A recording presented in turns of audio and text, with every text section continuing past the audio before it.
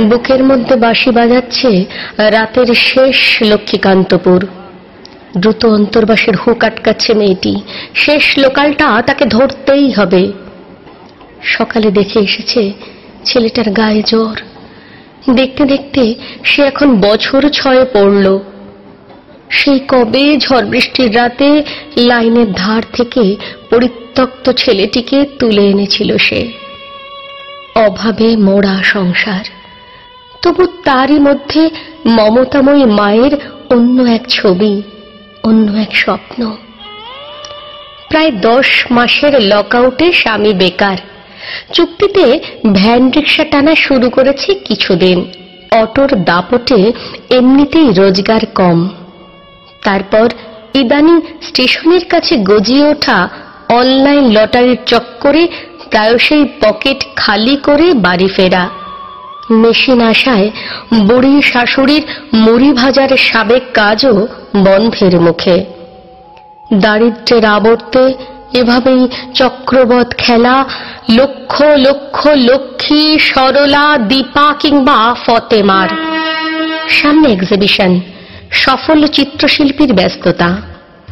একক প্রদর্শনীতে স্থান পাবে শিল্পীর তেল ও জল রঙে আঁকা অন্তত চল্লিশটি ছবি।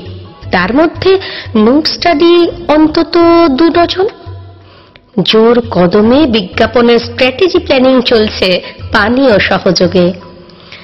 স্টুডিওর কৃত্রিম তীক্ষ্ণ আলোয় শিল্পীর চাহিদা মতো মেয়েটিকে একটু একটু করে নিজেকে প্রকাশ করতে হয়।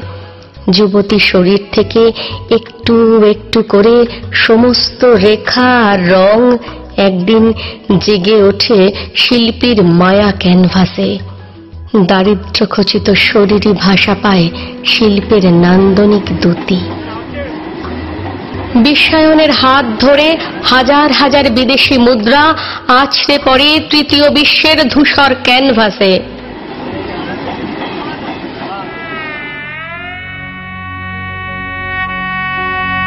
আঞ্চিত ছিনিয়ে নিয়েছে একমাত্র পেটের ছেলেটাকে।